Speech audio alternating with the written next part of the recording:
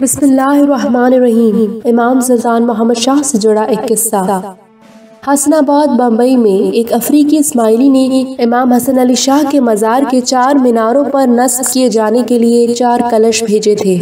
इस इस्माइली का नाम आबा तरसी इब्राहिम था, लेकिन लोग इसको आबा करके बुलाते थे।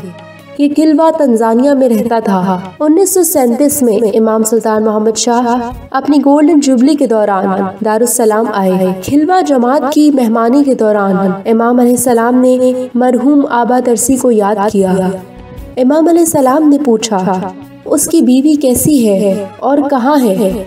इमाम सलाम को बताया गया कि वो खिलवा में है और बीमारी की वजह से ना आ सकेगी इमाम सलाम ने पूछा क्या वो ज़िंदा है? मुखी ने बताया कि वो अभी तक ज़िंदा है।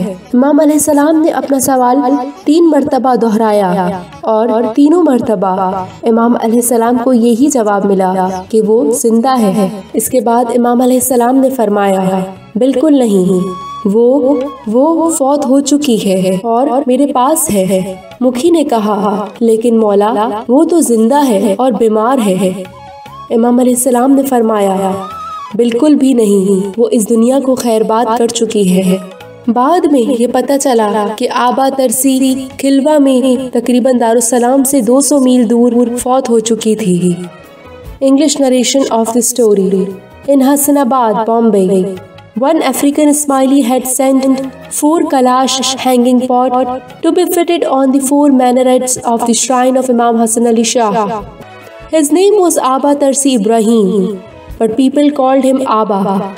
He resided in Kilwa, Tanzania.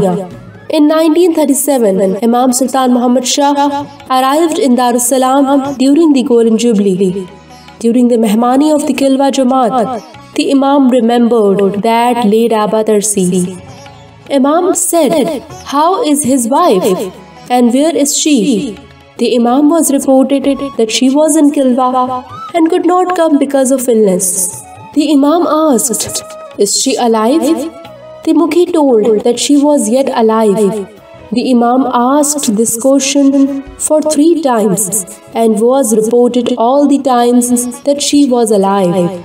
Then the Imam said, Not at all. She is also expired and has come to my presence. The Mukhi said, But Mawla, she is alive and is sick. The Imam salam said, Not at all. She also left the world. Later, it was known that wife of Abadarsi had also expired in Kilwa, about 200 miles far from Darussalam.